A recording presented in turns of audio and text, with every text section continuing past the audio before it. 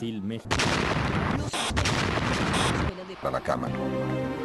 Pueden investigarse, pero algunos estados proteger a los autores.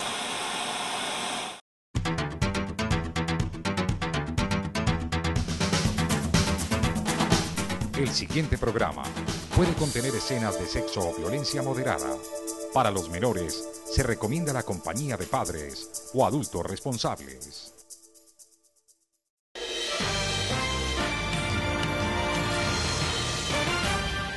Tulueña desaparecida. Familiares de una tulueña desaparecida por terremoto en Ecuador la buscan desesperadamente.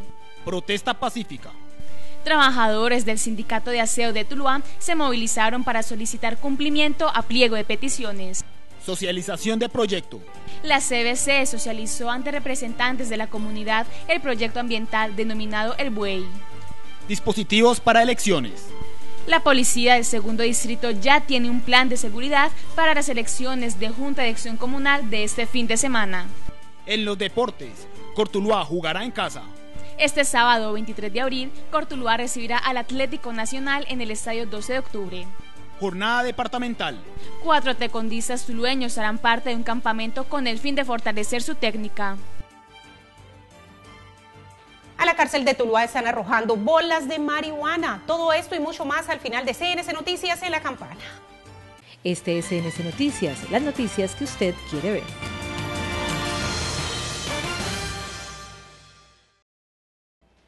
Muy buenas noches, bienvenidos a CNC Noticias, las noticias que usted quiere ver por el canal de nuestra gente. Saludamos a toda la teleaudiencia hasta donde llega la señal de Protelco en el centro y norte del Valle del Cauca. Igualmente a todas las personas que nos ven a través de nuestra página de internet www.teluroproducciones.com. Estos son los hechos del día. Hablamos con el padre de una tulueña que desapareció desde el terremoto registrado el pasado fin de semana en Ecuador, quien afirmó que no ha obtenido información alguna de su hija. La última vez que Ebert Villabón vio a su hija Sandra Viviana de 23 años fue hace dos meses cuando ella partió hacia Ecuador. Allí residía desde hace algún tiempo en compañía de sus dos hijos. De ella no volvió a saber nada y ahora la busca desesperadamente después de conocer que la ciudad donde vive fue afectada por este fenómeno natural. Nos comunicamos la primera vez que ella se fue, la semana preguntamos por ella y nos dijeron que estaba bien y todo.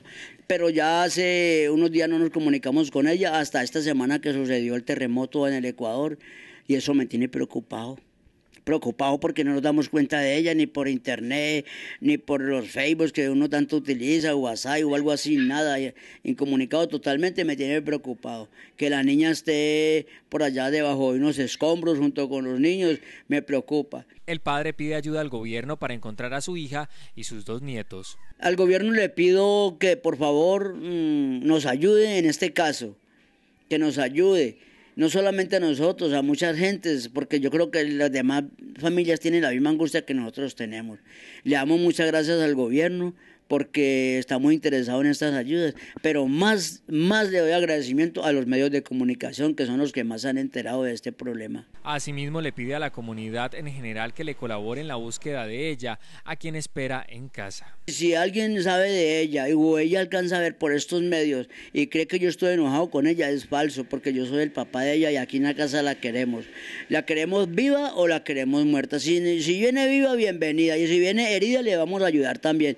Y si la traen muerta, pues le agradecemos a las personas que nos hagan este puente y que nos ayuden para lograr localizarla a ella viva o muerta. A ella le doy un mensaje que si me está escuchando, por favor, yo le perdono todo lo malo y igual le pido disculpas y le pido perdón, pero que nosotros la queremos en la casa. Esta familia tulueña espera obtener información pronto sobre el estado de su hija y los dos menores que le acompañan, pues aún guardan la esperanza de volver a reunirse en la casa que le vio nacer en el barrio Rojas.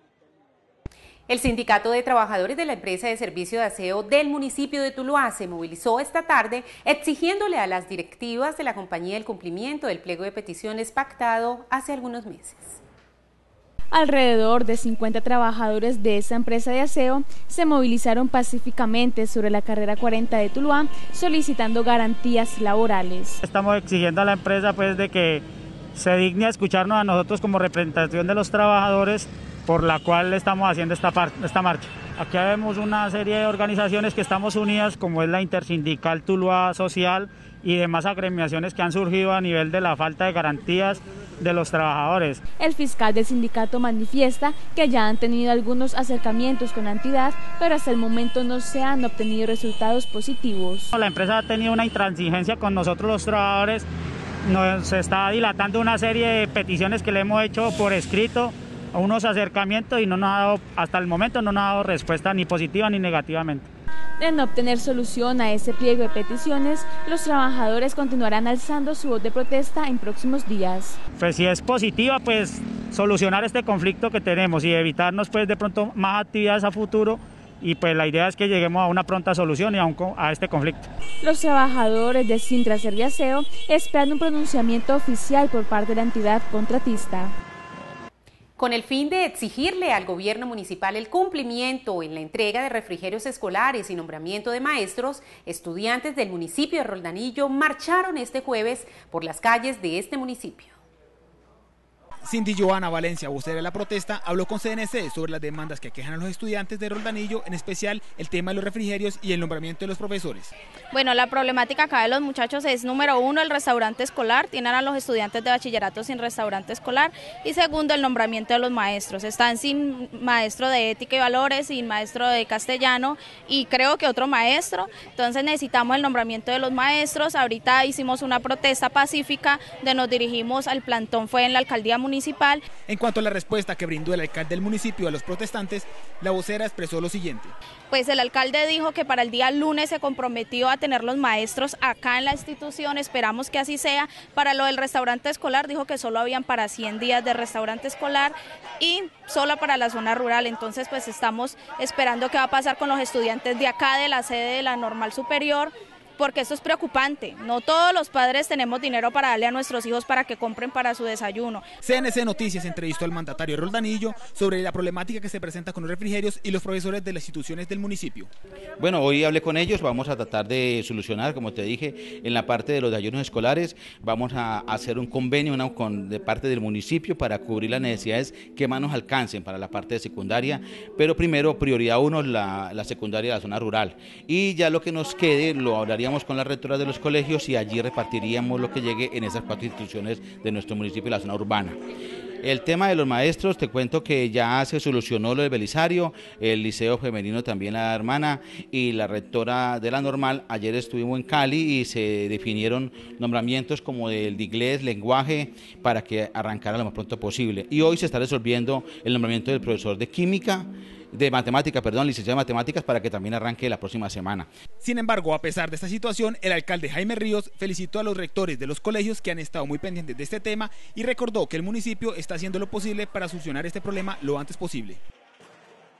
Docentes del municipio de Tuluá también realizaron una protesta pacífica en la Plaza Cívica de Boyacá en respuesta a la revocatoria nacional con la que le exigen al gobierno del presidente Santos respeto por la educación colombiana. Siguiendo directrices nacionales, los maestros tulueños protestaron en la Plaza Cívica Batalla de Boyacá para exigirle al gobierno nacional el respeto a la soberanía de la educación colombiana. Estamos protestando por la intromisión de la OCDE en nuestra, en nuestra soberanía educativa por ese deseo del doctor Juan Manuel Santos de llevar al país al grupo de los países más ricos que existen en Latinoamérica y el mundo. Cuando nos quiere comparar eh, con ciudades y países capitales, por ejemplo, como Singapur, como Finlandia, donde hay una calidad de la educación, pero donde hay unas condiciones totalmente diferentes, donde el Producto Interno Bruto en estos países es del 19.9% para la educación. En Colombia, para todo el componente educativo del Producto Interno Bruto, solo se destina el 3.6%. Y en esa forma nos quieren llevar a competir y permitir la, perder la soberanía que tenemos y la libertad de cátedra. Además de la derogación del decreto con el que se busca la privatización de la educación pública, los educadores le exigen al gobierno nacional que destine más recursos para este sector. Estamos exigiendo al gobierno nacional en cabeza del doctor Juan Manuel Santos de quien regenta el ministerio, la cartera del Ministerio de Educación, la doctora Gina Parodi, es que haya una inversión del 7.7% del Producto Interno Bruto para la, para la educación en Colombia que donde se está implementando la jornada única, porque queremos hacerle claridad a la comunidad. Nosotros estamos de acuerdo con la jornada única, pero con cuatro componentes, con una infraestructura adecuada una alimentación digna, una alimentación decente para nuestros chicos y chicas, un, un componente pedagógico y un sueldo profesional para los docentes. El presidente del SUTEP expresó también las decisiones que se tomarían de no ser escuchadas las solicitudes. Junta reunida de nuestra Federación Colombiana de Educadores el pasado 19 de abril en la ciudad de Bogotá se aprobó que si no se, se escuchan estas peticiones, si no hay también una contratación digna en salud para el magisterio, estaremos en el segundo semestre de este año iniciando un paro indefinido a nivel del magisterio en todo el territorio nacional. El maestro expresó que el secretario de Educación Municipal ha sido interlocutor con el orden nacional para buscar herramientas que permitan un común acuerdo y así garantizar educación de calidad en el municipio Corazón. Ahora información muy importante que nos trae el ingenio San Carlos, ya volvemos.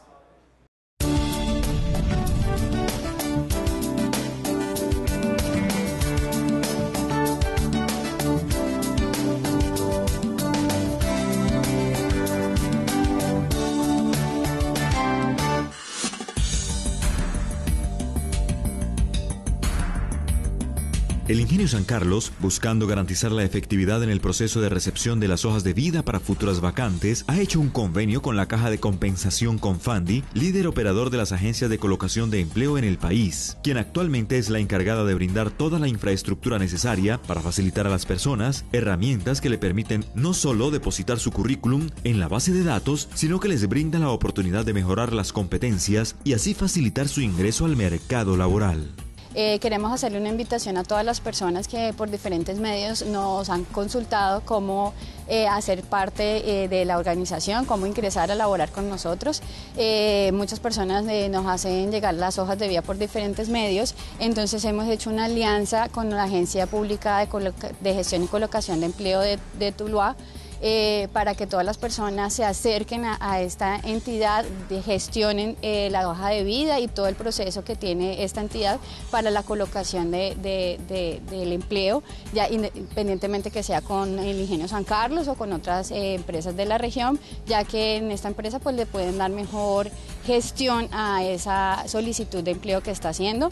Las agencias de gestión y colocación de empleo de Confandi trabaja según los lineamientos establecidos por el Gobierno Nacional y con el apoyo de la Unidad del Servicio Público de Empleo y el Ministerio del Trabajo y ofrece a las personas el servicio de recepción de hojas de vida sin ningún costo. Solo necesita presentarse con su documento de identidad a la oficina ubicada en el edificio administrativo de Confandi en Tuluá, calle 26 2120, para registrar su hoja de vida en la base de datos el ingenio tiene un convenio directamente con nosotros donde estamos haciendo un banco de hojas de vida especiales para el ingenio San Carlos. Entonces los invitamos a todos a que se presenten acá en la agencia, acá los vamos a atender, un auxiliar de registro es la persona que les va a ayudar a registrar su hoja de vida en la plataforma del Servicio Público de Empleo. El Ingenio San Carlos continúa apostándole a la mejora en el proceso de recepción de hojas de vida a través del convenio con la Agencia de Gestión y Colocación de Empleo de Confandi, el cual brinda herramientas que facilitan a las personas la búsqueda de empleo y a la compañía encontrar trabajadores idóneos para sus vacantes.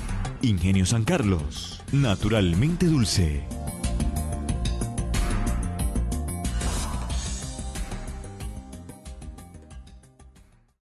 Y esperen después de comerciales. Se socializó ante la comunidad de diferentes municipios del centro del Valle del Cauca el proyecto ambiental El Buey. Al regresar las apreciaciones de los asistentes. Ya regresamos.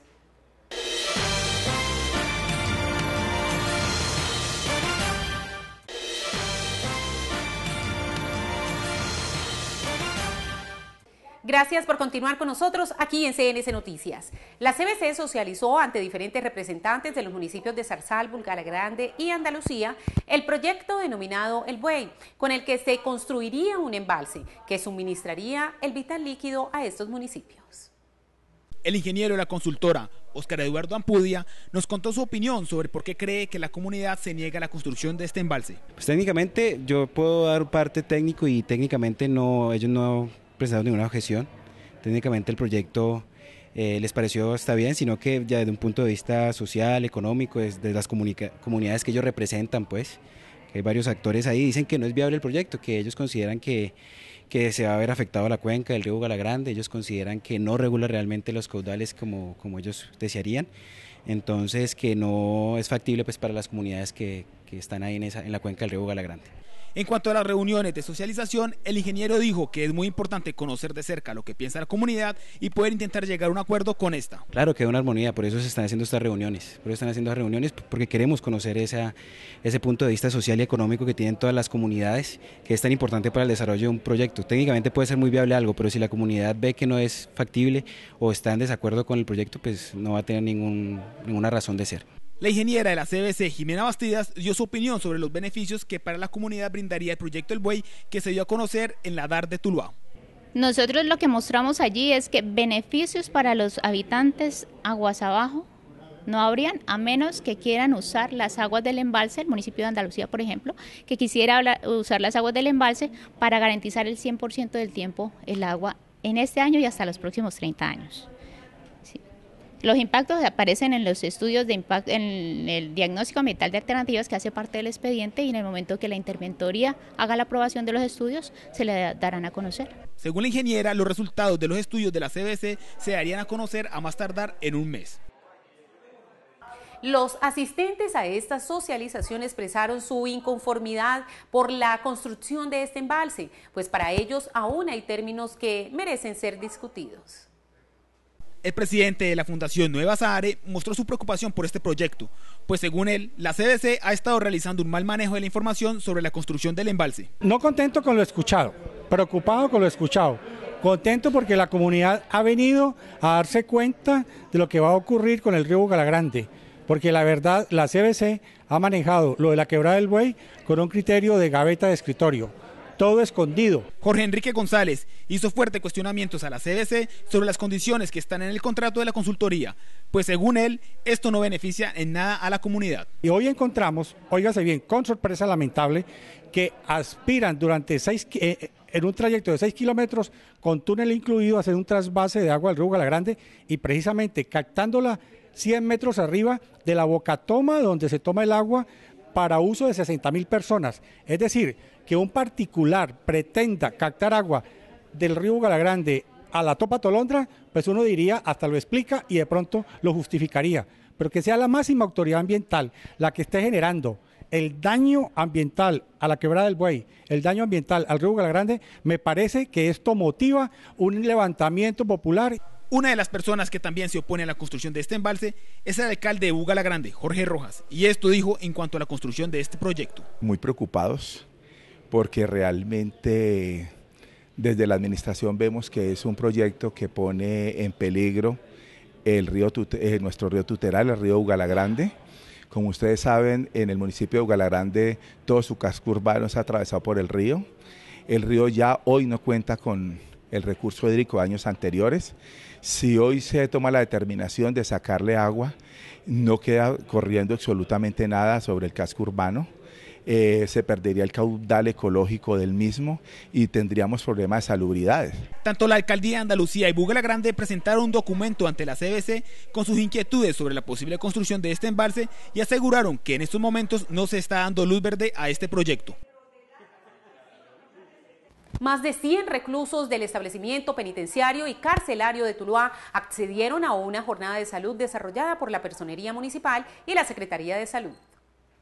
El secretario de Salud, Jorge Humberto Salazar, habló sobre las actividades que se realizaron en esta jornada, a la cual se vincularon varias IPS del municipio. En coordinación con la personería del municipio de Tuluá y con el apoyo de los hospitales eh, Rubén Cruz Vélez y Tomás Uribe Uribe, eh, se están desarrollando actividades de odontología, toma de citologías, eh, consulta médica primaria y entrega de medicamentos. El funcionario habló sobre la disponibilidad de los reclusos para recibir la atención médica en diferentes áreas como citologías para mujeres, odontología, medicina general y recibimiento de medicamentos. Por medio de las instalaciones y el personal médico de acá eh, han hecho un listado de las personas que deben atender y todos están agendados y todos están asistiendo. El personero delegado para los derechos humanos también nos contó el porqué de realizar esta importante jornada en el centro penitenciario. Digamos que este es el primer paso.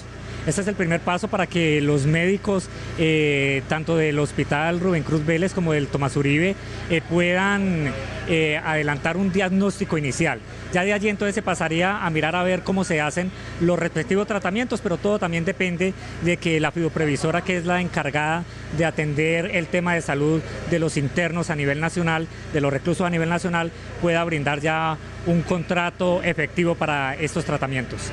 El delegado también agregó que por medio de una tutela se espera que un juez se pronuncie al respecto para que los reclusos que padezcan de diferentes patologías puedan recibir atención íntegra y oportuna. La institución educativa Jovita Santa Coloma de Tuluá fue reconocida como una de las mejores a nivel nacional tras haber superado varios indicadores sintéticos de calidad. Este reconocimiento se dio tras superar el índice nacional en primaria, media y secundaria por parte de los estudiantes y gracias a las estrategias implementadas por los docentes. El logro que nosotros obtuvimos es acerca de los puntajes que se obtuvieron por el resultado de los estudiantes de la media, de primaria y de secundaria. Esto se logró a través de, de lograr o alcanzar unas metas que se nos proponía el Ministerio de Educación y que a la vez también se proponía el colegio. Eh, nos cogió de sorpresa porque igual nosotros estamos trabajando normal porque eh, se necesita adelantar en los estudiantes las áreas de matemática, lenguaje, la lectura, la escritura. Esos puntajes se obtienen de los estudiantes de los grados tercero, quinto, noveno y once. La rectora Luz Aida Grisales dio a conocer el puntaje obtenido para este año. En la primaria estamos en 672 en la secundaria estamos en 6.36 y en la media en 5.80. Eh, nosotros con estos puntajes, eh, como logramos alcanzar la meta, por eso fue que nos dieron los incentivos del Ministerio de Educación. Tras este logro, los docentes continuarán creando estrategias para fortalecer y seguir mejorando su nivel educativo. Teníamos una base ya del 2015, unos resultados base, entonces eh, allí nos daban como unas directrices para nosotros realizar o diseñar unas estrategias para que los estudiantes pudieran alcanzar esas metas en el área de, lenguaje, de matemática, entonces fue así de esa forma en que los, profesores eh, diseñaron esas estrategias para que los estudiantes las aplicaran en el aula de clase. También se realizaron eh, actividades eh, con los padres de familia, con los docentes. Ahora el reto para la institución educativa es sostener ese nivel, ya que el compromiso está con los docentes, estudiantes y padres de familia. Ahora continuamos con un flash informativo de la Cámara de Comercio de Tuluá. Ya regresamos.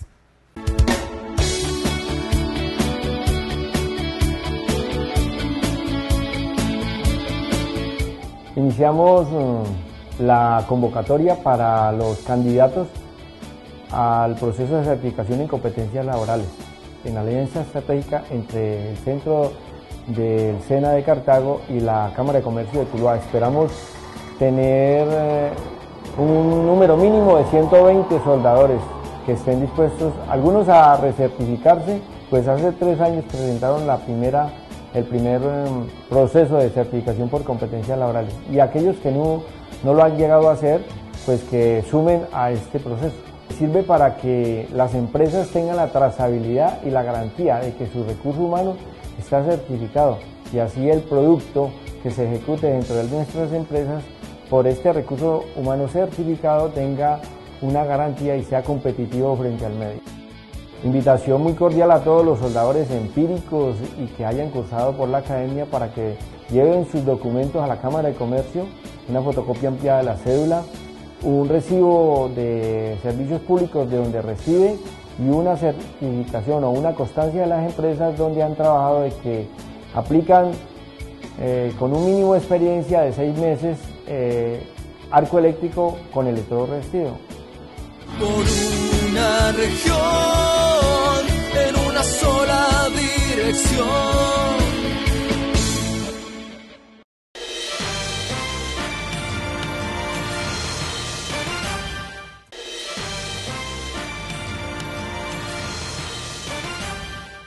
Les recordamos a todos nuestros televidentes que nos pueden contactar a través de Facebook CNC Tuluá o nos pueden seguir a través de Twitter arroba CNC Tuluá. Continuamos con más información aquí en CNC Noticias. La policía de Tuluá dio a conocer el dispositivo de seguridad que implementará en el municipio este fin de semana con motivo de las elecciones de dignatarios. Las autoridades del municipio de Tuluá implementaron un plan de seguridad para que las elecciones de junta transcurran con normalidad. A su vez, se priorizaron algunos barrios de acuerdo al número de planchas presentadas. Sí, vamos a estar acompañando eh, los diferentes eh, puestos de votación. Son 23 puestos que tenemos priorizados donde van a haber servicio de policía fijo. Los demás puestos van a estar en constante revista por parte de unidades motorizadas con el fin de que estas elecciones se lleve a cabo sin ninguna irregularidad y bajo los eh, componentes normales para estas elecciones. El día martes pasado estuvimos en Consejo de Seguridad donde creamos algunas responsabilidades para las diferentes fuerzas y la idea es poder acompañar este proceso y que no haya ninguna situación especial. Aparte, las unidades fijas habrán patrullas que estarán circulando por todo el corredor vial de Tuluá. Bueno, vamos a tener más de 60 uniformados cubriendo esos 23 puestos de o puntos de, de votación y ya vamos a tener unos grupos motorizados, los cuales son los encargados de pasar revista a los, a los otros puestos. Eh, alrededor de 70, 80 hombres van a estar comprometidas para esta actividad. La zona rural del municipio también tendrá acompañamiento por parte de la institución para esta jornada electoral. Pues vamos a estar acompañando también en el corregimiento de la Marina y algunos corregimientos aquí cercanos al municipio de Tuluá. Hay algunos eh, puestos que estarán cubiertos por el personal del ejército eh, previa coordinación en el Consejo de Seguridad. Se le hace un llamado a toda la comunidad votante a que participen de esta jornada en paz y tranquilidad. En el Hospital Rubén Cruz Vélez del municipio de Tuluá se presentó oficialmente el gerente encargado que liderará la administración del centro asistencial durante los próximos meses. El odontólogo especialista en administración en salud y quien ha gerenciado una IPS privada, Julio César Toro, llega como gerente encargado de ese centro asistencial con el propósito de cumplir varias metas. La idea es trabajar, eh, mejorar, los, mejorar las, las las actividades que están y los programas que están bien y que se están realizando y lo que podamos lo que podamos mejorar, pues estamos, estamos en eso, en pro de, que el hospital tenga mejor atención y que sea todo en pro de la, de la comunidad de la ciudad de Tuluá. Oh, pues tenemos muchos ánimos, muchas ganas de trabajar en grupo, que los, que los, que los empleados del, del hospital estén en un buen ambiente laboral. No, queremos trabajar con mucho ánimo y, con ganas de, de salir con el hospital adelante lo más que podamos. Tras las quejas de los usuarios por la falta de personal en algunos puestos de salud, el gerente encargado se refirió sobre esa situación que próximamente será resuelta. Nosotros estuvimos eh, concretamente el de la Marina y en el, y en el del Victoria, pues donde han venido pues a informarnos de eso. Estuvimos en un consejo comunal el sábado pasado. Eh, donde se le, se le dijo a la comunidad pues que lo, que nosotros queremos solucionar eso lo más pronto posible, estamos en eso, ya estamos ubicando la gente, mirando sus hojas de vida para, para solucionar lo más pronto posible esta situación en, el, en la Marina y en el barrio Victoria. Julio César Toro llegó para trabajar y que el Hospital Rubén Cruz Vélez preste atención de calidad, incluyendo los puestos de salud en la zona urbana y rural. Estamos trabajando lo más, lo más rápido para que la, la comunidad tenga para que tenga su atención lo más pronto posible, para que tengan los usuarios que yo perdón, para que tengan los los ¿qué? los el personal que el personal que requiere para, para que tenga su atención lo más pronto posible. La comunidad tulueña puede acercarse a los puestos de salud más cercanos y recibir una buena atención médica. El próximo sábado 30 de abril el municipio de Tuluá y el Hospital Rubén Cruz Vélez se vincularán a la segunda gran jornada nacional de vacunación del año, a la cual se podrá acceder de manera gratuita. En esta jornada de vacunación masiva, a su vez se practicarán citologías, controles prenatales, odontología y salud oral, en la que se realizará en los centros de salud este sábado 30 de abril. General todo el esquema de vacunación.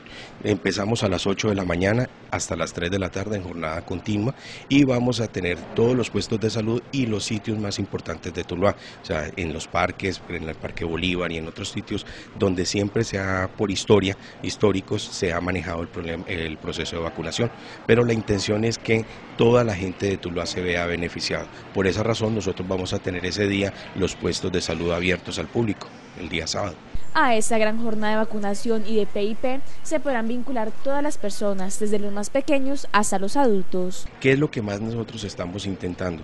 Que todas aquellas personas que se han quedado un poco atrasadas con los procesos de controles prenatales y todo eso se pongan al día o los que tienen crecimiento y desarrollo también se pongan al día con estas actividades. Además hay una, una situación muy importante y es que vamos a tener todo el proceso de citologías en ese día. Entonces todas aquellas mujeres que por alguna otra razón en menos de un año no se han hecho por lo menos una citología y que tienen una vida sexual activa, entonces eh, ese día pueden hacerse la citología también. Esa segunda jornada de vacunación nacional para toda la ciudadanía será completamente gratis.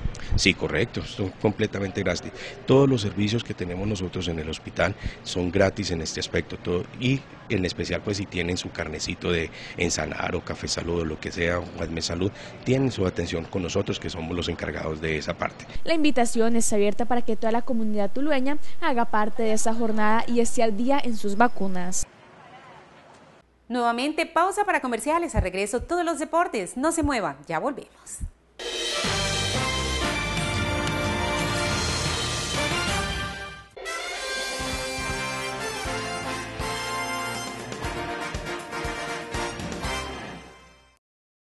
Buenas noches, bienvenidos. Esta es información deportiva en CNS Noticias. Buenas noticias para el deporte tulueño, pues una joven luchadora hará parte de la selección Valle que competirá en el próximo campeonato de esta disciplina en la categoría libre. La luchadora actualmente se prepara para competir en el Campeonato Nacional de Lucha en la categoría Junior en la ciudad de Pereira el próximo 8 de mayo. Pues me estoy preparando muy fuerte para poder ocupar mi primer lugar y para representar a Tuluá y el Valle del Cauca. La luchadora tulueña nos contó cómo se ha venido preparando para participar en ese torneo y poder ocupar el primer lugar de esta competencia. Pues mi entrenamiento ha sido muy fuerte con la asesoría del profesor Rafael, que me está ayudando mucho. Y para cumplir mi objetivo, que es trae la medalla de oro para, el Tuluá y el Valle. Por otro lado, Rafael Antonio Paredes, profesor de lucha, nos habló sobre cuáles son las expectativas para este torneo y cuántos luchadores competirán allí. El 8 de mayo se realiza en Pereira el campeonato junior, 18 eh, a 20 años. Daniela Betancourt, Claudia Bonilla y Felipe Cortés son tres tulueños que van a competir en este evento eh, integrando la selección Valle. Y esperamos, eh, a pesar de ser cadetes, o sea, son niños muy avanzados para, para, para este torneo. Pero entonces eh, la idea es foguearlos para conseguir con ellos una proyección a nivel internacional. Mucha suerte para esa guerrera. De otro lado, el onceno tulueño está listo para enfrentar la próxima fecha de la Liga Águila, en la cual recibirá en casa al Atlético Nacional. Hablamos con algunos de los jugadores del seleccionado Centro Vallecaucano. El volante ofensivo del Cortuluá, Luis Caicedo, habló con CNS Noticias y nos compartió su opinión sobre Nacional, rival al que enfrentará este sábado. Para nadie es un secreto que va a ser un enfrentamiento pues complicado, porque sabemos que Nacional es el mejor equipo no de Colombia, sino de Sudamérica en el momento. Y nada, nos estamos preparando muy bien para, para este compromiso. Sin duda alguna, otra de las figuras que tendrá este importante partido es Miguel Borja. El delantero del equipo Corazón también nos contó sobre los aspectos que trabajará durante el partido para poder buscar un cupo entre los ocho. Nosotros vamos a tratar de, de mantener la pelota, que es el fuerte de nosotros. Tenemos jugadores de, de buen pie que, que con la pelota son muy importantes y nosotros arriba tratar de, de estar finito para meterla y, y bueno, eh, estamos analizando a Nacional cómo se le puede llegar, eh, eh, las debilidades de ellos que, que apretándolo arriba son débiles y entonces yo creo que, que por ahí vamos a tratar de, de hacer el partido.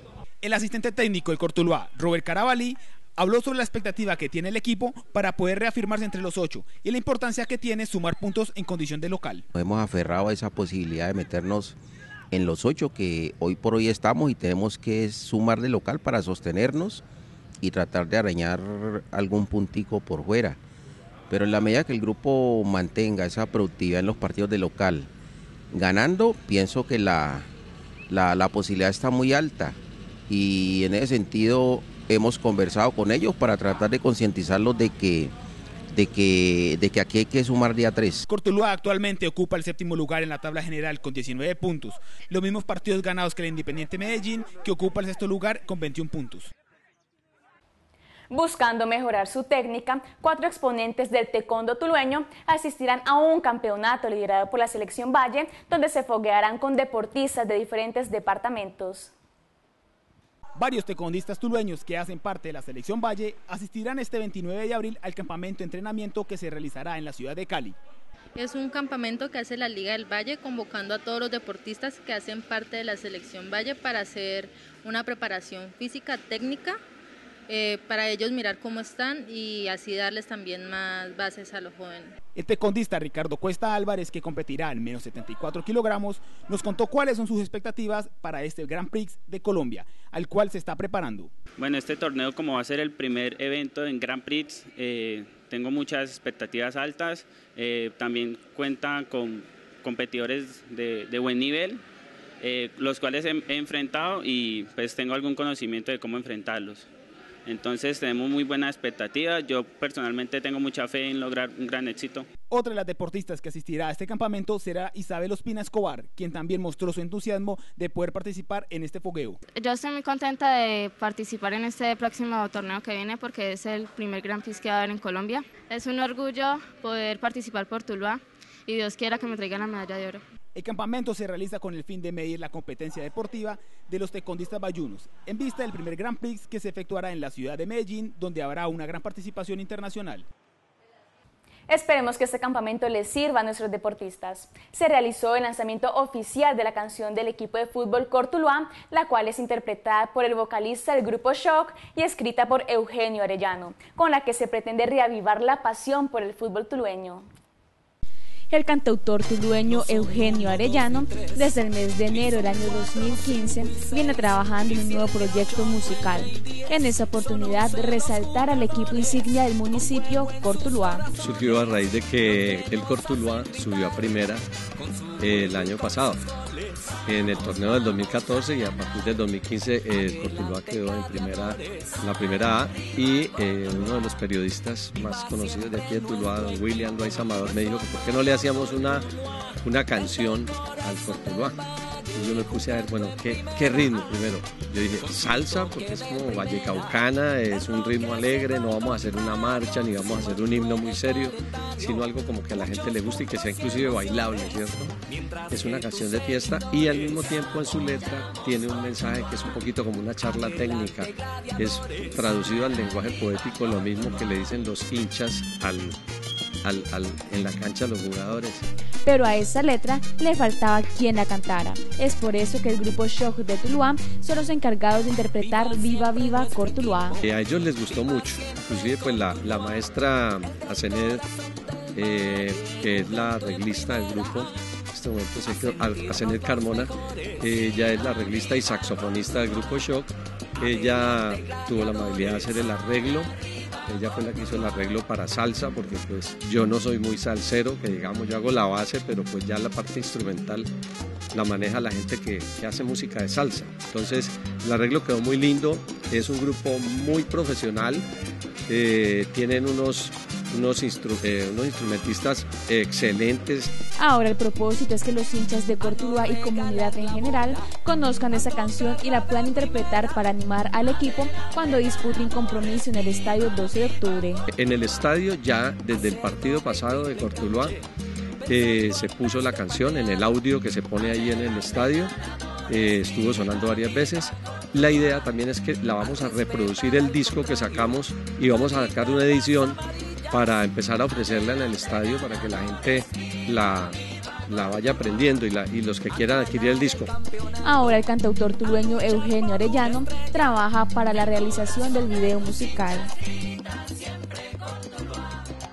Hasta aquí la información deportiva en CNS Noticias. Una pausa para comerciales y al regreso la campana.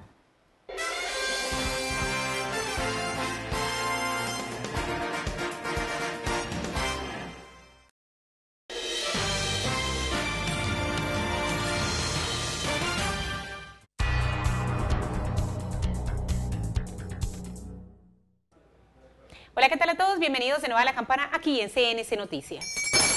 Suena nuestro primer campanazo. Bueno, y la creatividad de muchas personas no tiene límites y eso pues está bien, pero no cuando se emplea negativamente. Pues expondré un caso muy puntual. ¿Cómo les parece que en el establecimiento penitenciario y carcelario de Tuluá algunas personas están lanzando objetos como si fueran bolas de nieve? Unas pues hechas de marihuana, sí señores, bastante creativas.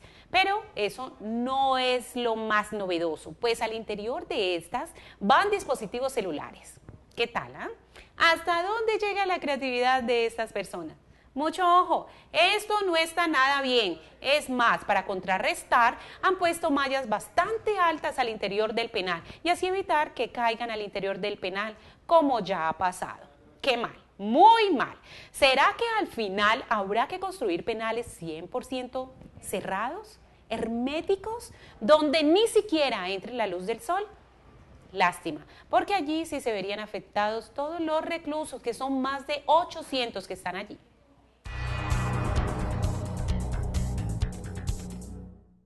Bueno, ahora quiero hacer un llamado de atención a la comunidad y directivos del Cortuluá, pues hoy se celebró el lanzamiento oficial de la canción Viva Viva Cortuluá, la cual fue compuesta por Eugenio Arellano e interpretada por el vocalista del grupo Shock. Por ese lado, todo muy bien, pero lo negativo es que no hubo representación del Cortuluá ahí, y eso fue tomado, claro, como un desplante pues es obvio, esta canción fue hecha para nuestro equipo, para ellos, pero ni siquiera se preocuparon por agradecer públicamente esto y asistir al evento. Entonces, ¿cómo no se va a ver mal? Mejor dicho, esto no tiene nombre, es un desplante total y no debió pasar. Ahora comprendo por qué se ha perdido la cultura y la pasión por el fútbol y el arte. Pues recuerden, señores, que Cortuluá no son solo partidos.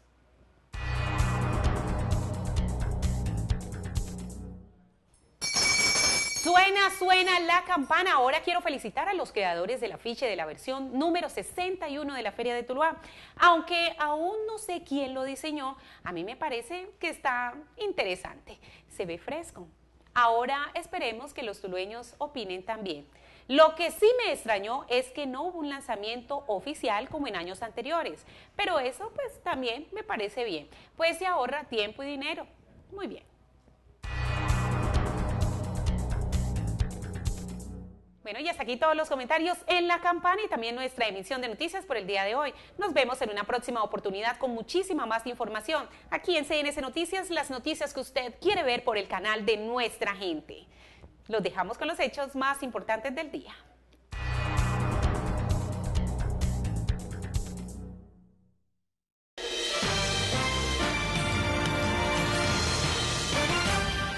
Tulueña desaparecida. Familiares de una tulueña desaparecida por terremoto en Ecuador la buscan desesperadamente. Protesta pacífica. Trabajadores del Sindicato de Aseo de Tuluá se movilizaron para solicitar cumplimiento a pliego de peticiones. Socialización de proyecto. La CBC socializó ante representantes de la comunidad el proyecto ambiental denominado El Buey. Dispositivos para elecciones.